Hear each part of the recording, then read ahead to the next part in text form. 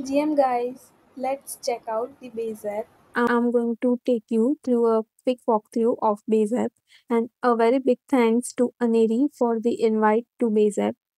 Once you got an invite, you can create a new account on Base and if you are using Farcaster, then you can do logging using that Farcaster account and once it's done here you can make a post.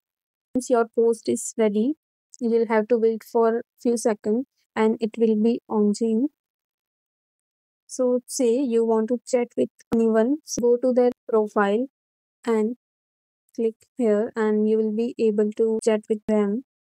And here you can do trade. Here all your chat will be visible. Here you will see how much amount you had in wallet and here you can explore you will see different categories like financial, finance, utilities, and so on.